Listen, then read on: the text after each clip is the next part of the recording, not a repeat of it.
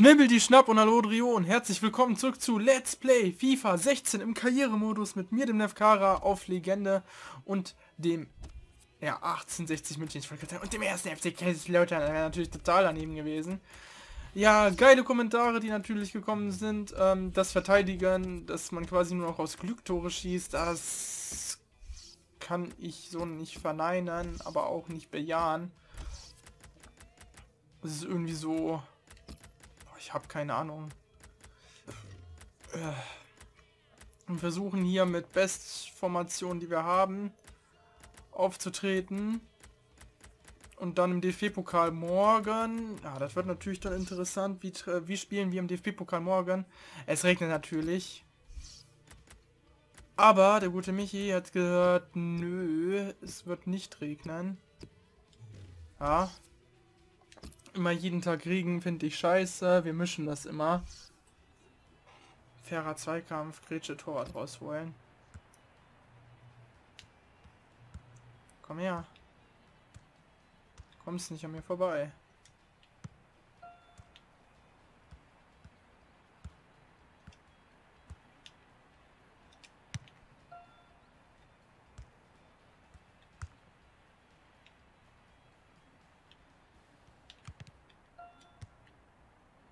Ja, war jetzt nicht sonderlich gut, ne? Aber es ist ein Exzellent gewesen. Also, fortgeschrittene Verteidigung Silber haben wir erledigt. Wir springen rein in die Partie. Der SV Sandhausen empfängt an der Court Lane 1860 München.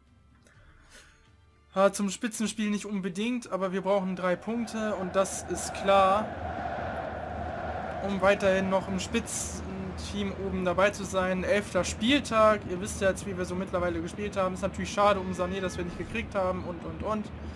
Wir haben ja Kötze jetzt auf der Bank. Er wird, könnte natürlich ein interessanter Junge werden mit 18 Jahren. Ein schneller Mann. Dem werde ich übrigens wirklich beibringen, noch schneller zu werden. Damit er dann auf der Außenbahn für uns äh, für Aktionen sorgen kann. Da Doppelmittel ist, das ist schon sehr praktisch. 1860 will hier und heute ordentlich was leisten. Ihr seht hier, die beste Abwehr sind wir. Nur 5 Gegentore, nur Bielefeld ist in der Nähe von uns. Wir sind die beste Abwehr. Ortega ist jetzt nicht der beste Keeper. Anschluss hat 1860 von rechts nach links. Ich habe übrigens zwei Tage kein FIFA gespielt. Wirklich jetzt.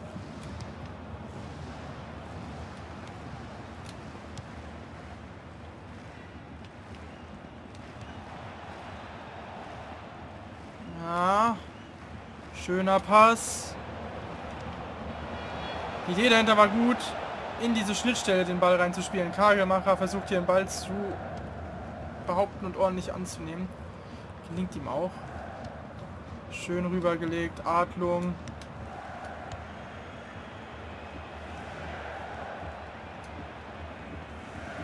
Da kann mir das Spiel mal erklären, was das war. Egal, SV Sandhausen verstolpert das ganze Ding. Der Ball ist schon im Aus und wir kriegen ihn zurück. Alles easy. Schön den Ball rübergelegt auf Wittek. Jetzt gucke ich mir gerade an, wo die da stehen. Da steht Ashraf. Und der Ball war nix.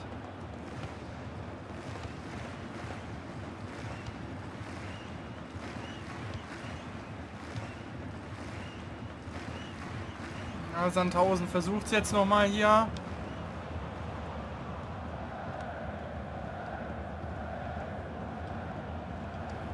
Kuhn. Oh, Ortega. Naja. Kann man auch schlechter lösen, die Aktion. So zum Beispiel, wie Stahl das hier gerade gemacht hat. Das war schon wirklich schlecht.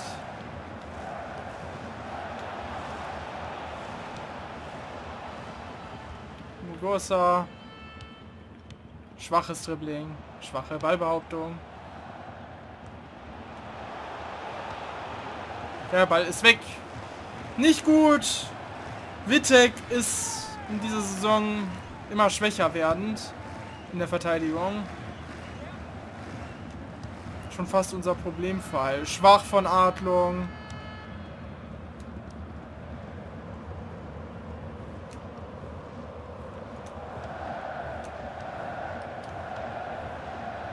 Der Ball war nicht gut.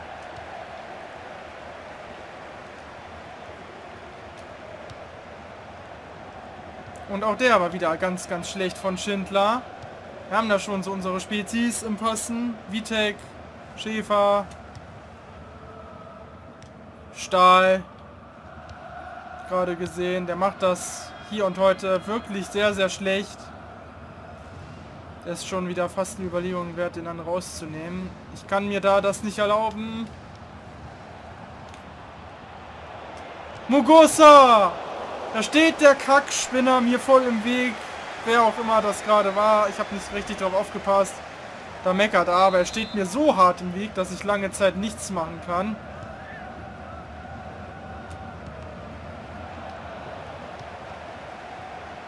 Gute Pässe sehen anders aus.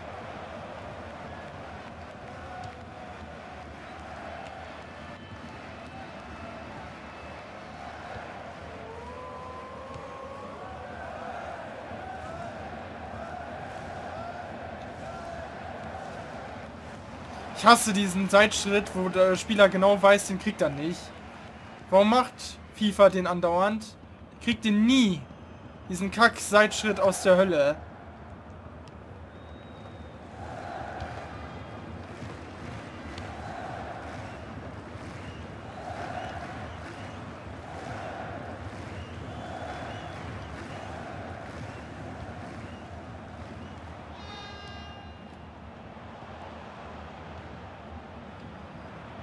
Das war schon ganz schön lappig gerade in der Verteidigung. Den musste haben.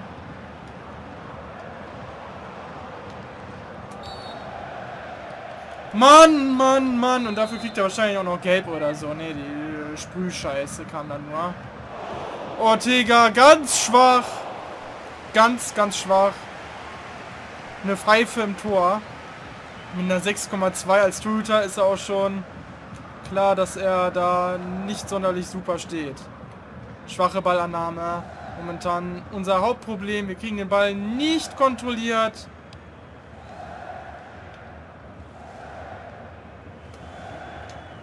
Hammer, was war das denn für eine Scheiße? Baumgartel sagt, den kriege ich nochmal.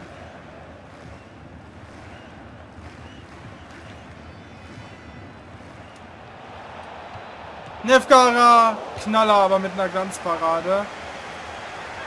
War hier nochmal so eine Art Torgefahr. Davor haben wir gar nicht so viel gemacht. Die brauchen wir nicht hereingeben. Wir haben nichts und niemanden, der den Ball dann nehmen könnte.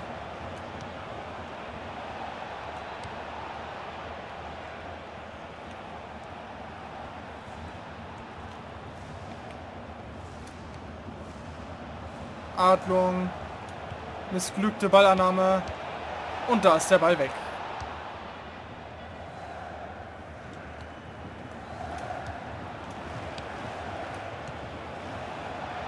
Er war abseits.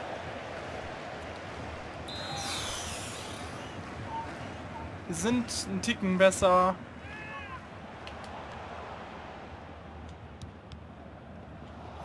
Aber es gibt so eine Adlung, der hier ziemlich viel verwurstet. Wie das auch Stahl gerade in der Partie sehr hart macht. Keine Überlebenschance gerade für uns.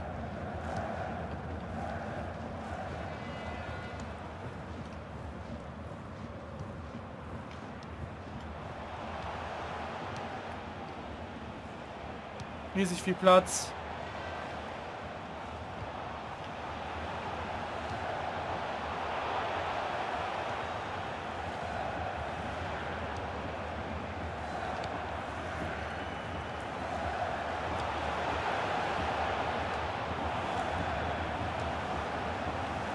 Aber der Ortega, der kann ja recht wenig, den muss er auch haben. Wenn er den nicht hält, ist das schon eine richtige schlechte Leistung. Nee. Ortega, Stahl, Nürnberg, Duisburg 1 zu 1, Karlsruhe, Heidenheim 0 0. Leipzig liegt gegen Düsseldorf mit 0 zu 1 hinten. Und ich bin hart enttäuscht. Da läuft nix. Mugosa ist sehr schlecht. Dicht gefolgt von Stahl. Da kann ich auch einfach alle auswechseln. Das war nix. Das war ganz und gar nichts. Da brauche ich gar nicht mehr so mit denen weiterzuspielen. Tschüss. Frustrationswechsel. Das war ja wohl weniger als nix, spielerisch.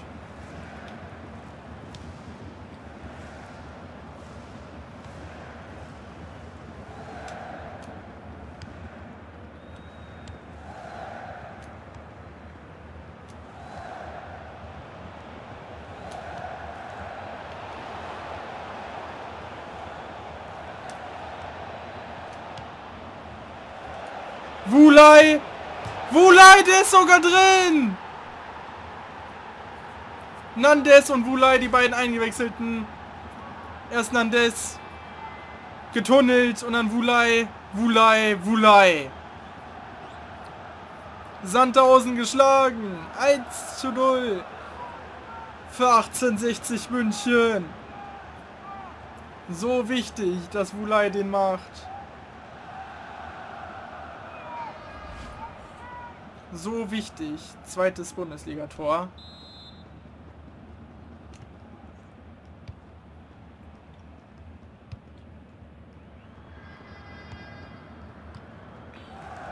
Wir werden wieder defensiver jetzt.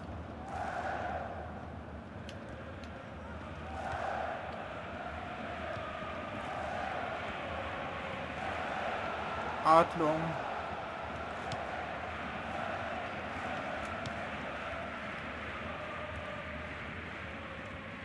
Kagelmacher.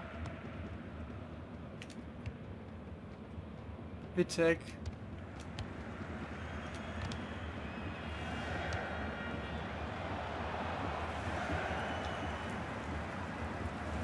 Und Kagelmacher und der Ball ist wieder bei uns.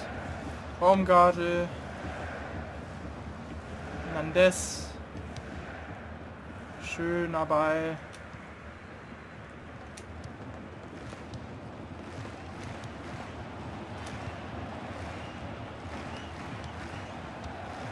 Also das Dribbeln funktioniert nicht mehr so gut. Die Pirouette.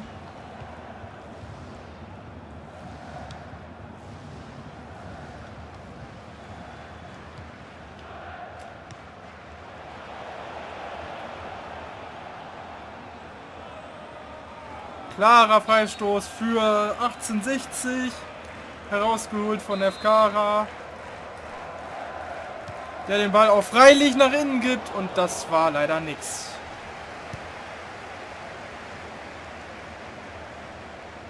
Schindler auf Ashraf. Und dann geht es auch direkt wieder in die andere Richtung. Ja, dann hätte Oedegaard aber deutlich schneller reagieren können müssen, vielleicht sogar, wer weiß.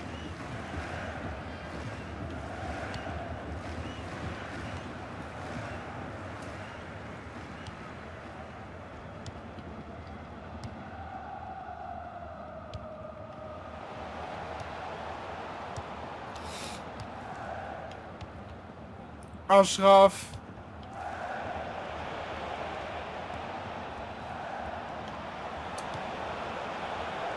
Nefkara! Nein, der macht nicht! Wulai, bester Spieler auf dem Platz. Kommt rein und gibt Gas wie ein Weltmeister. Wolf kommt rein für Ödegard.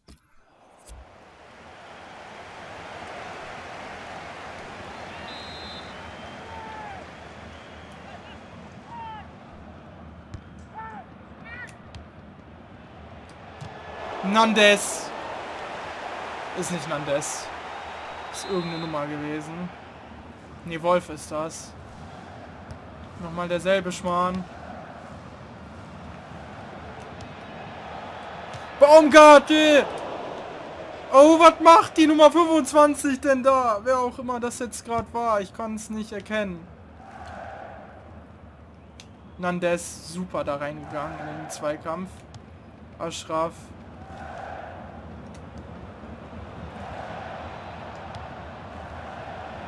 Wunderschöner Ball auf Wolf.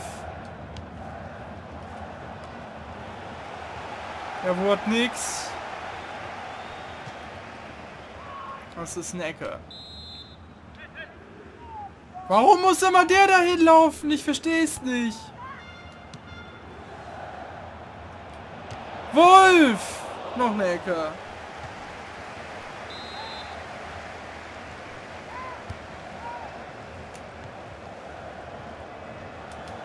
Aschraf! Noch eine Ecke. Jetzt geht's hier aber los.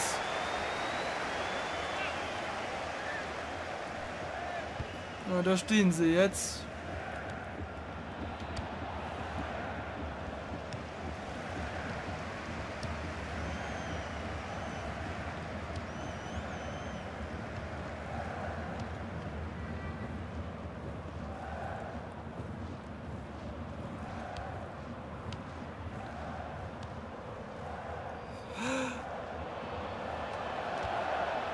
Wie viel Platz er da bekommen hat. Meine Fresse. Riesenverteidigerfehler.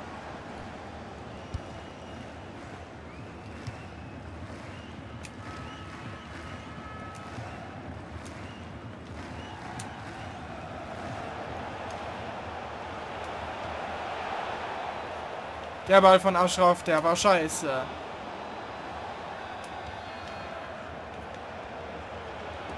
Nefkara, Aschraf, richtig schlechter Schuss, die zweite.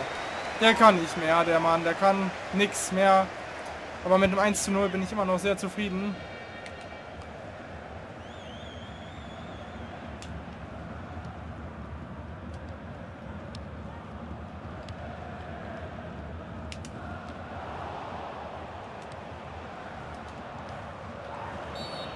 Freistoß, Gott sei Dank. Aschraf wieder verkackte Ballannahme. Gefährlich jetzt.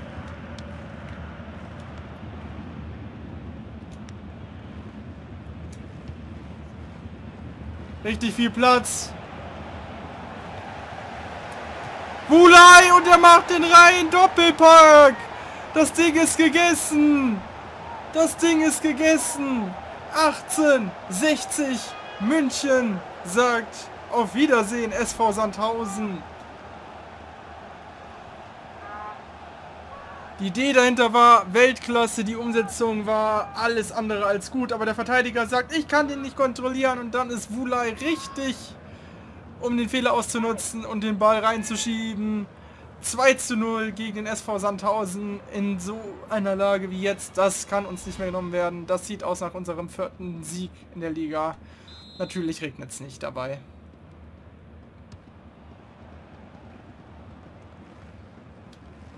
Habe ich ein richtiges, das richtige Händchen bewiesen. Drei Einwechselspieler habe ich reingeholt. Und alle drei haben jeweils waren jeweils torbeteiligt. Nefkara, gut dazwischen gegangen. Gut den Gegner genervt. Ausnahmsweise mal nicht hart am Tor beteiligt hat Ortega.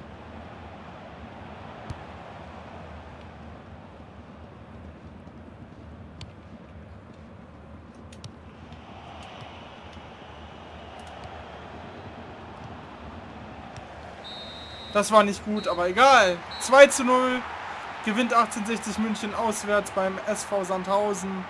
Das war richtig wichtig für uns. Richtig, richtig wichtig. Der vierte Saisonsieg.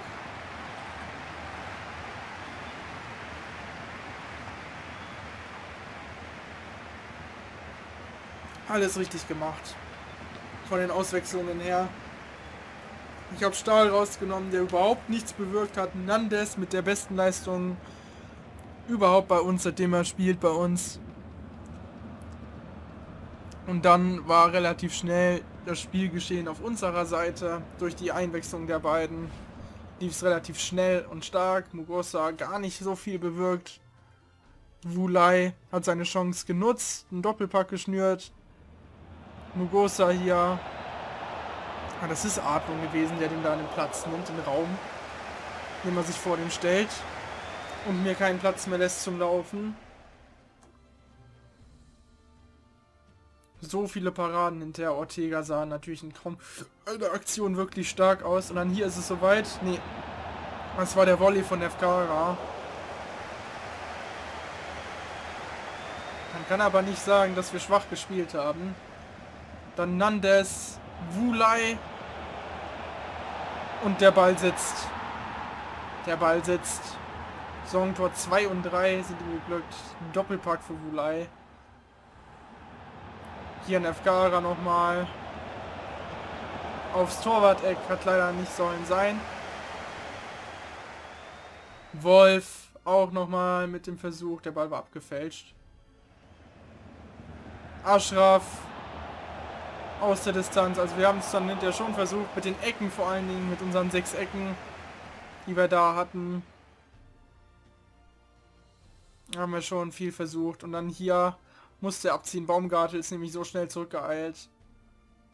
Bleiben die stärkste Defensive der Liga. Hier auch nochmal Ashraf wirklich weit daneben. Konnte auch nicht mehr, hat aber ein gutes Spiel gemacht. Und dann der Ball, der war gar nicht gut, der war gar nicht gut. Und Wulai nutzt aber dann den Fehler, dass der Gegner den nicht annehmen kann. Und macht daraus sein zweites am heutigen Tag. Und damit haben wir die zwei Tore Führung gehabt. Ach, wunderschön. Insgesamt eine gute Leistung von Wulai, Nefkara, standardsgemäß, Stahl gar nichts, Mugosa gar nichts, aber Nandes hat dann dafür gesorgt, Adlung auch nicht sonderlich gut. Hat dann dafür gesorgt, dass das hinten ganz gut läuft. Pässe, sechs Pässe. Stahl hat auch sechs gebracht. Nefkara hat 100% Passquote gehabt. Top-Einwechslung, das 2 zu 0 war richtig wichtig. Nürnberg und Duisburg trennen sich unentschieden. Heidenheim auch mit Karlsruhe. Alles ziemlich gut für uns. Äh, Vertragsverlängerung.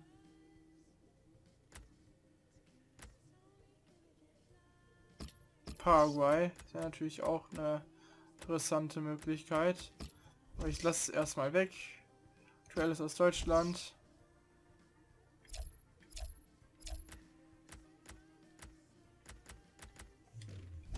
Ist eigentlich gar nicht so viel. Wolf hat nö gesagt. Wir können noch einmal trainieren. Das finde ich ziemlich gut. Das wollte ich nämlich unbedingt haben. Wulai, der weiterhin ziemlich gut arbeitet, daran besser zu werden. Vor allem im Abschluss muss er ja ordentlich arbeiten.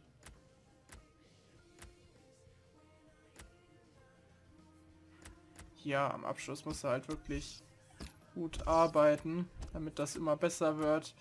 Wolf und Ashraf. Na klar, Wolf geht nochmal trainieren. Darf hier nochmal Pumpen, Ballkontrolle drauflegen.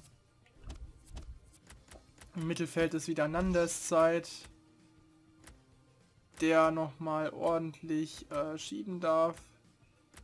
Was ist denn hier? Der soll noch nicht dribbeln äh, lernen. Sondern faire Zweikämpfe üben. Im Mittelfeld natürlich. Ödegard könnte langsam auch mal ein bisschen pumpen. Tempo dribbeln. Wird er sich auch mal verbessert. Und die Innenverteidigung natürlich Kötze, wem auch sonst. Dem gebe ich hier direkt mal eine ordentliche Aufgabe. Damit er hier... Ach komm, der kriegt hier alles, alles simulieren. Gucken wir doch mal. Yes, C. Klatsch. Und da kriegt er auf 68 hoch, der gute Mann. Nein, der ist leider nur mit einem D. Ansonsten die Leute B, B, B. Und ein C. Und Kötze verbessert sich damit auf 68, erhöht seinen Marktwert um 21% kriegt Grätsche drauf. Das ist super gewesen. Und dann der hier, man sieht, der pumpt auch ordentlich. Hat schon 30% Marktwert draufgelegt, seitdem Wolf 29%, 21%, 21%, das sind gute Werte. Auch für einen Kötze. Gucken hier mal rein. Können sogar fast so spielen. Fast. So. Aber an dieser Stelle verabschiede ich mich von euch. Ja, auf Rang 4 sind wir schon vorgedrungen das ist noch für uns machbar hier. Rang 4, 3 Punkte. Ihr seht zwei Punkte da vorne ist Paderborn, Leipzig und Lautern mit der Punktgleichheit. Die haben 15, 15 und 18 Tore geschossen und haben jeweils 6, 3, 2. eine Möglichkeit für uns näher ranzurücken. Es sind nur zwei Siege mehr, als wir das haben. Und an dieser Stelle verabschiede ich mich von euch. Das war FIFA 16 im Karrieremodus mit mir, dem Lefkara, auf Legende und 1860 München. Und wir sehen uns morgen wieder dann im Pokal gegen Heidenheim. Bis dahin wünsche ich euch alles Gute. Haut rein, Leute. Ciao, ciao!